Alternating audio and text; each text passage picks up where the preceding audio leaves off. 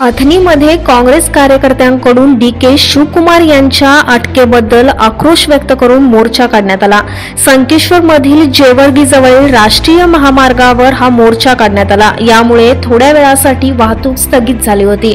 माजी आमदार शहाजहान डोंगरगाव यांच्या नेतृत्वाखाली हा मोर्चा काढण्यात आला. मोदी सरकार विरुद्ध व अमित शहा यांच्या विरुद्ध या मोर्चाद्वारे आक्रोश व्यक्त करण्यात आला.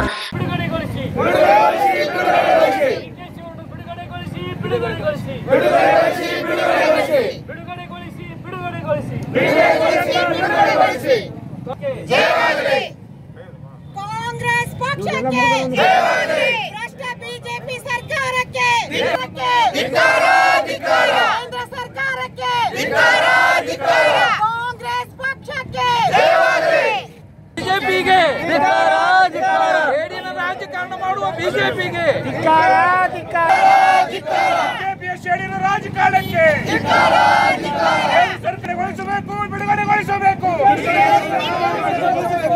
माजी मंत्री डी के शिवकुमार यांच्या अटकेमागे भाजप पक्षाचा हात असल्याचे येथील काँग्रेस कार्यकर्त्यांकडून बोलले जात आहे. या मोर्चात काँग्रेस कार्यकर्ते तसेच डी के शिवकुमार यांच्या चाहत्यांनी सहभाग घेतला होता.